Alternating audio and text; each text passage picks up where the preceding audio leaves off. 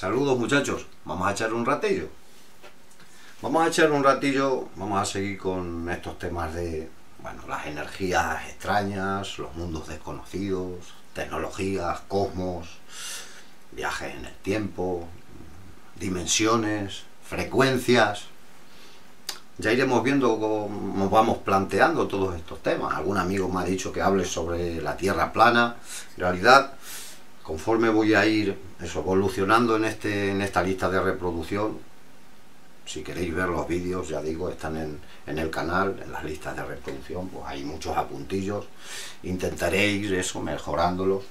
Bueno, vamos al tema, que si no nos vamos.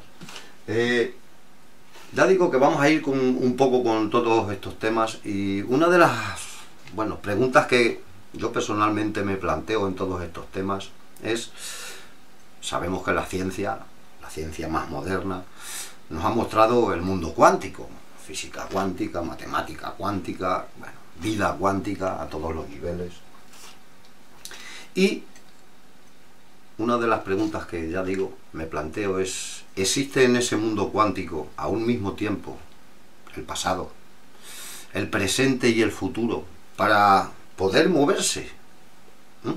Para poder ir de un momento a otro con una u otra tecnología o simplemente existe siempre un ahora mismo, eso sí, con muchas posibilidades, muchas dimensiones, mundos paralelos, el mundo de las posibilidades de la cuántica incluso al nivel de nosotros mismos, en otros estados incluso de evolución, pero siempre en ahora mismo, o ya digo, o existen todos los tiempos a un mismo tiempo. Todo esto, ya digo, tiene muchos ejemplos que podemos ver todo esto de los viajes en el tiempo a muchos niveles, dados por científicos, documentales, vídeos, conferencias, pero ya digo, a nivel luego de aprendizaje básico para ver, es como estoy mostrando, a puntillos, ejemplos básicos como en los vídeos anteriores que hemos hablado, ya digo, de esto del viaje en el tiempo. Eh, para ver un poquito este tema, vamos a plantear cómo podríamos ver, en principio, ver el pasado o el futuro, de alguna manera. Imaginaros que esto es la Tierra y esto es una lejana estrella. Me han dicho siempre que soy muy exagerado, pues eso. Imaginaros que es una lejana estrella que está a mil trillones de años luz. O sea, una cantidad exagerada de, de kilómetros, por decirlo de alguna manera. Imaginaros que llegado un momento, el hombre la ciencia, llega a fabricar una máquina que en realidad, tripulada o no, llegue a ir más rápido que la luz. Imaginaros que en esto, imaginaros a las 12 de la noche del día 1 de junio del 2020, por decirlo de alguna manera. Una fecha que he dicho a bulto, ¿eh? no significa nada en absoluto. Y si significa producto de la casualidad. Imaginaros que todo emitimos imágenes, ondas, tanto sonidos como imágenes, la luz que reflejamos, por decirlo de alguna manera. Si nosotros estamos aquí, el que está allí enfrente nos está viendo. O sea, esa imagen se perpetúa, por decirlo de alguna manera, en el espacio. Quizá cada vez se van abriendo más las ondas, como pasa con el sonido, por ejemplo, como pasa con la calor y como pasa con todo tipo de ondas. Pero en realidad la imagen que emitiría la Tierra en ese preciso instante viajaría en el espacio, al igual que cada persona, viajaría en el espacio esa luz a 300.000 kilómetros por segundo aproximadamente. Entonces, digamos que en un año, daros cuenta la cantidad de años luz que hemos dicho que estaba la estrella, o sea, en un año, por supuesto que no iba a llegar, aunque fuera 10 veces más rápido que la luz esa máquina, no iba a llegar ni mucho menos a la estrella. Pero imaginaros que esa máquina en 50 años hace un gran trecho, y por supuesto va más rápido que la luz. Y llegado un momento, esa máquina se para y tiene bueno, un tipo de escáner que recoge ondas electromagnéticas, que recoge imágenes.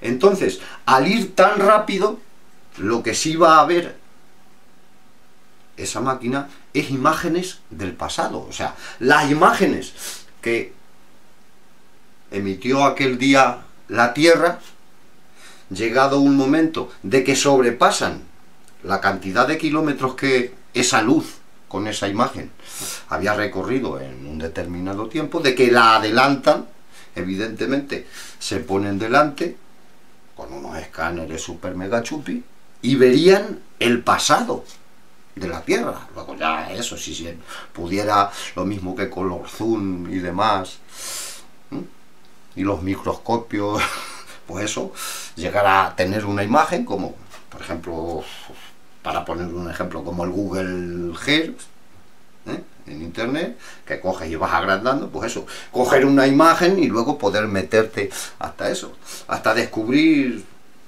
presuntos, digamos, sucesos que ocurrieron en el pasado. Eso, dentro de la lógica física nuestra, sin entrar a eso, al mundo subatómico, que luego ya entraremos en esos temas, eso quizás sí es posible si se consiguiera una tecnología que viajase más rápido que la luz, cosa que quizá no es tan, tan complicado por decirlo de alguna manera, pero es por poneros un ejemplo. Sin embargo, el futuro existe, el futuro. El pasado sabemos que es una cosa que ha pasado y ha emitido, pero si estamos en ahora mismo y algo no ha sucedido, por muy rápido, muy rápido que, vayas, no ha sucedido. A no ser que eso, que el mundo de la cuántica nos permitiese que todos los tiempos estuvieran ocurriendo a un mismo tiempo. Cosa que ya es más compleja de dar una explicación lógica, por mucho que, bueno, muchos se, esfuercen en decir que a tal velocidad, a tal no sé qué. Para mí, si hay una forma de entre dimensiones, frecuencias, formas de introducirnos en otras densidades, en otras dimensiones, si existieran todos los tiempos, evidentemente, quizás sí se podría ir de un lado para otro, pero la, el enigma está ahí.